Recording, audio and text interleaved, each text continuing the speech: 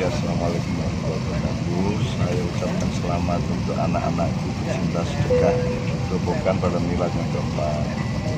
Sodako itu perbuatan yang paling tinggi derajatnya di Allah. Paling mulia, tidak hanya baik tapi mulia.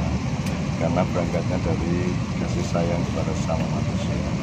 Nah, anak-anakku semua karena sayang sama manusia maka Allah menyayangi anda semua anak-anakku semua mudah-mudahan masa depannya juga oleh Allah diurus sejak sekarang dan diberkahi Assalamualaikum warahmatullahi wabarakatuh.